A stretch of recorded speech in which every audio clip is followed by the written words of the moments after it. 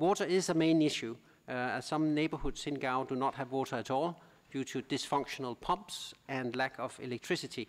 Outside of the city, the situation is even worse because the Niger River, River is the only source of water, and there are concerns about cholera outbreaks, that water is not clean.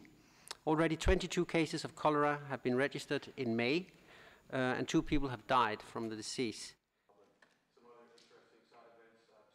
What we've done for many months now, which is to provide uh, household water treatment supplies to uh, communities in the north. We've also provided chlorine to treat uh, water systems. Um, we're working now to rehabilitate a lot of the damaged infrastructure.